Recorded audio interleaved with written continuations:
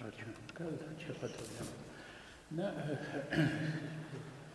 Tomas visą laiką, vat, ir septintojo konferencijoje vis at- atranda naują rakursą. Ir e, dabar mūsų, vat, kaip tik su akademiku Tyla, e, pranešimai truputėlį, gal truputėlį yra kitoniški, nes vienai per kitaip, na, e, Tomas pas- parinko e, šiai konferencijai nu, tokią labai konkrečią fo- fokusuotą, fokusuotą temą. Na, kad negaišt, pradėsiu. Reiškia, pranešimą įvardinau vartotojų klasę. Gali kilti klausimas, kam dar reikalinga nauja kategorija.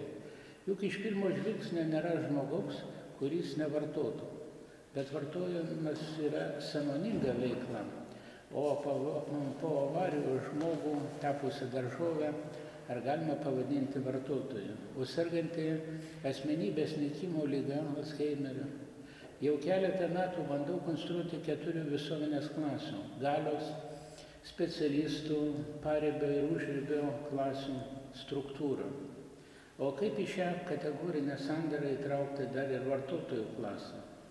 O kaip apskritai įsamus esamus struktūros tyrimų pjūvius įsirašo vartotojų klasės sampratą. Apie tai ir pabandysiu trumpai pasvarstyti šiame pranešime. E, Tam, kad tai kam reikalinga vartotojų klasės samprata? Tam, kad galima būtų tiksliau apibūdinti visuomenės socialinę sandarą, įvairių didelių socialinių grupų sąveiko struktūrą ir sistemą. Tam, kad galima būtų nustatyti, kokio laipsnio tiek atskiri žmonės, tiek įvairios socialinės grupės yra pritvinkusios vartotojiškumo. Nu, man atrodo, kaip tik kalbant apie vartojimą, tas pritvinkimas yra pati tinkamiausia, e, tinkamiausias terminas. Tam, kad galima būtų adekvačiau suvokti įvairių socialinių grupių vartotojiškų interesų sąveikos vaizdą, kad galima būtų pagreičiau formuoti valstybės socialinę politiką, stengiantis sušvelninti kylančias visuomenėje socialinės įtampas. Nagrinėjant visuomenės socialinę struktūrą yra daug skirtingų požiūrių, kartu absoliutinant jų reikšmingumą. Pavyzdžiui, akcentuojama viduriniosios klasės reikšmė visuomenės stabilumui, bet sąmoningai ir nesąmoningai užmirštama, kad toks skirstimas į aukščiausias, aukštesnės, vidurinės, žemesnės ir žemiausias klases tai yra tik vienas galimas socialinės struktūros tyrimo pjūvis, o kitam konkrečiam tyrimui gali būti tikslingesnė, pavyzdžiui, kad ir vartotojų klasės samprata. Dar pridursiu, kad galimi ir kiti tyrimo pjūviai - socialinis, demografinis, socialinis, institucinis, valstybinis, teritorinis ir taip toliau. Taigi vartotojiškos visuomenės laikotarpyje, mano nuomonė, būtinas ir atskiras vartotojiškumo principų įskirtas socialinės struktūros tyrimo pjūvis. Vartotojų klasės įskirimas gali parodyti, kokio laipsnio tiek atskiras individas, tiek visa visuomenė vadovaujasi vartotojiškumo ideologija. Būtent ideologija, nes natūralių žmogaus poreikių - maisto, būsto, sveikatos, lavinimo, saugumo ir taip toliau - tenkinimas iš esmės nėra vartojimas. Tačiau, kada vartotojiška visuomenė, pavyzdžiui, mokytojas ar gydytojas yra sąmoningai įvardinami paslaugų teikėjais, tiek švietimas, tiek sveikatos apsauga visų pirma tampa vartojimo sritis. Ne garbingai skambantis mokytojo vardas, o paslaugų teikėjas. Tarp kitko, akademikai irgi yra paslaugų teikėjai, liktai ekspertai, ekspertai teikiantis paslaugas, tarp kitko, kurių niekam nereikia, nes mokslo apskritai dabar niekam nereikia. Taigi visose visuomenės lygiuose - makro, pasaulinėme, mezo, Europos Sąjungos, Afrikos valstybių sąjungos, kitų valstybių sąjungų, mikro valstybių lygiuose vyrauja vartotojiška ideologija. Būtent dėl vartotojiškų interesų nesutapimo visuose lygiuose ir kyla interesų konfliktai. Pavyzdžiui, tiek Junktinių Amerikos valstybių prezidentas Donaldas Trumpas, tiek Kinijos lyderis, Kinijos komunistų partijos generalinis sekretorius Xi Jinpingas Aš samoningai dabar, vat kaip tik rašau lietuviškai, nes mane tiesiog siutinti, siutinti. Kaip pavyzdžiui, koncertų programose neberašoma Mozartas, o rašoma Mozartas. Kai, pavyzdžiui, knygos leidžiamas ne va Stefanas Cveigas, o Zveigas, nu, original kalba tai man atrodo privalu ir spaudoje rašyti būtinai Trumpas, o ne Trumpas. Ne, tai pasakysiu trumpui snukį duosiu už trumpą. Tarp kitko, Leninas savo laiku irgi savarankiškai besimokydamas anglų kalbą irgi šnekėjo taip, kaip buvo parašyta. Tai vienaip ar kitaip negalima susinti lietuvių kalbos. Dabar yra transkribatoriai, galima ir den, e, si, palaukit, kaip jis čia dabar, si mm, Dzinpingas arba Mao Dzedūnas irgi e, rašyti taip, kaip skamba, kaip privalu lietuvių kalboje. Kovoja dėl vartojimo sferų paskirstimo. Taigi vartotojiška visuomenė vartotojiškumo principų išskirtas socialinės sąjungos tyrimo pjūvis yra būtinas. Akivaizdu, kad visuose lygiuose, makro, meso, mikro, tiek valdantiesiems, tiek tai tyrėjams yra svarbu nustatyti vartotojiškumo ideologijos efektyvumo laipsnį. Tai yra, koks vartotojiškumo laipsnis yra pačioje vartotojų klasėje. Kiek vartojimų yra pritminkęs tiek atskiras žmogus, tiek įvairios socialinės grupės. Pavyzdžiui, kiek bereikalingų prekių žmogus įgyja akcijų metu. Antra vertus, valdantiesiams svarbu žinoti, kaip efektyviai dirba vartotojiškos visuomenės agentai, prekybininkai, makleriai, vadybininkai, produseriai, reklamos specialistai ir taip toliau. Tuo metu visuomenininkams, pavyzdžiui, žaliesiems, atvirkščiai, labiau rūpi, kiek milijonų hektarų miškų iškertama reklaminės makulatūros gaminimui. Apie atskiro žmogaus vartotojiškumo laipsnį galima spręsti pagal keletą indikatorių. Vienas jų yra gaunami pajamų krepšelio, pajamų krepšelio sudėtis. Koks yra būtinų ir išlaidžių pirkinių santykis. Žinoma, negalima neatsižvelgti į pajamų dydį. Svarbus ir vartotojiška visuomenė prestižinių prekių ir paslaugų rodiklis.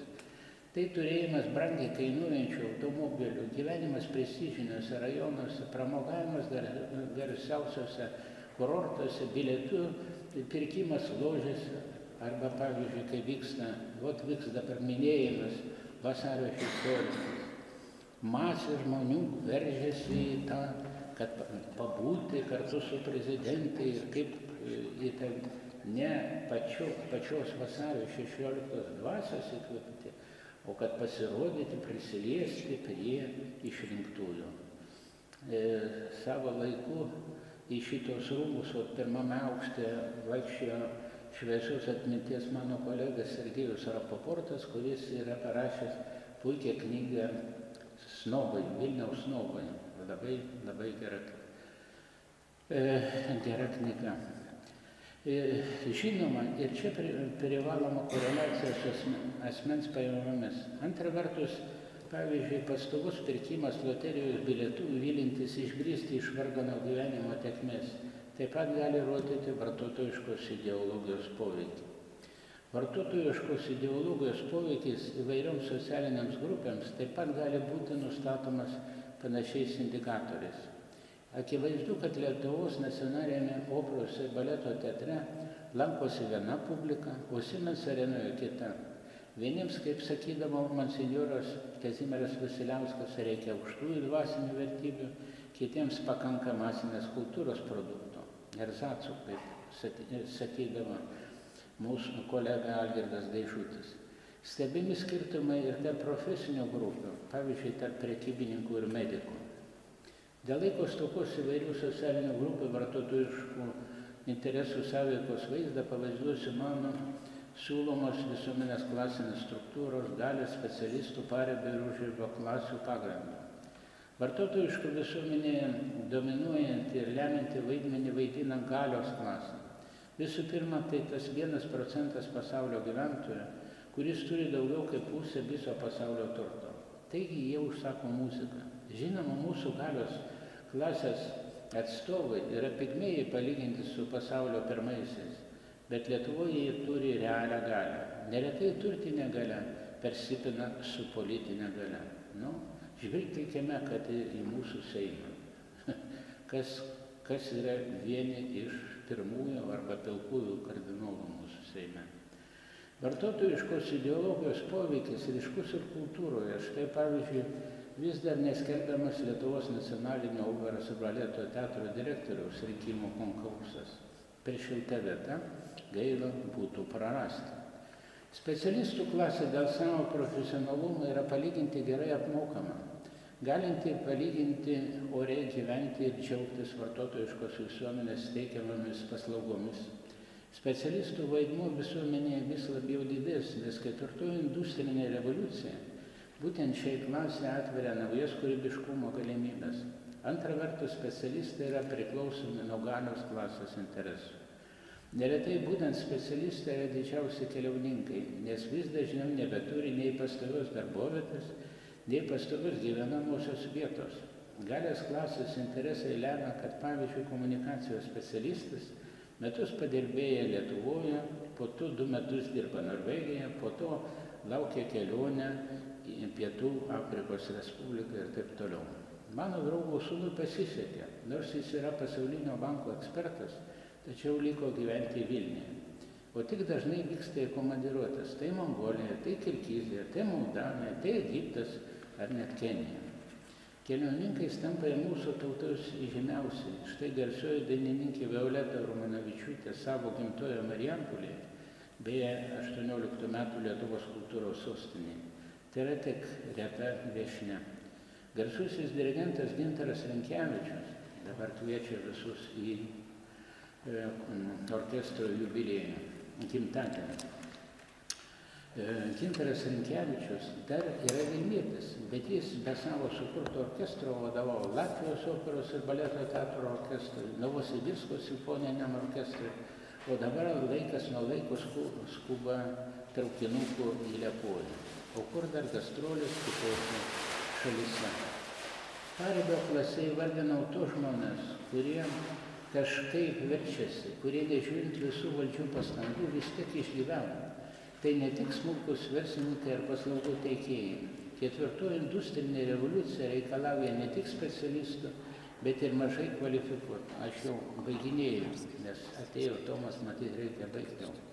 Ar visai nekvalifikuotų darbuotojų, kuriuos taip pat įvardino parebio klasės atstovais. Būtent parebio klasės žmonės yra labiausiai paveikus vartotojiškai ideologijai jiems pakanka masinės kultūros erzaco ir, kaip sakoma, duonos ir žaidimų. Užrybio klase klasė, pagrindinis uždavinys yra kaip apskritai išgyventi. Jiems rūpi ne vartotojiški interesai, o kaip patenkinti elementariausius gyvenimo poreikius. Vartotojiška visuomenė jiems demonstruojamas dvasiškumas. Vieniems už kapeiką suteikiama vieta nakvynės namuose, kitiems, kurie dar turi stogą namuose, atneša sriubos mm, lėkštę ir duonos kraukšlę. Kai kas prognozuoja, kad ketvirtoji industrinė revoliucija sudarys prielaidas kūrybiniai visuomeniai formuotis. Tai yra vartotojiškos visuomenės pobūdis bus pakeistas kūrybinio kūrybiniu. Šviesi perspektyva, bet labai abejoju tokiu rytojumi, artimo rytojumi. Dabar esminiai pokyčiai industrijoje yra pajungti vartotojiškos tiems galios klasės interesams.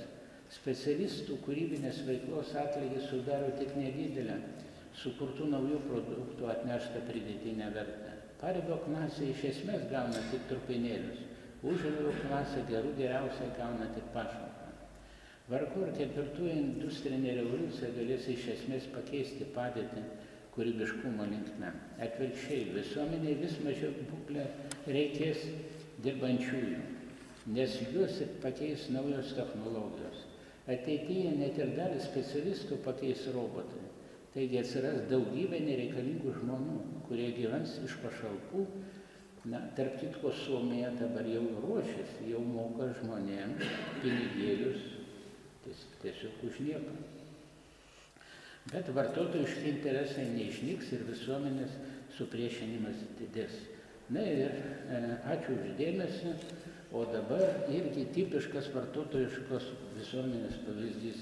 Lėkiu vakare žiūrėti rungtinių, kai mūsų krepšininkai, šiuolaikiniai gladiatoriai, kovos su kitais gladiatoriais iš Leningrado. Atsiprašau, iš Sankt Peterburgo. Ačiū.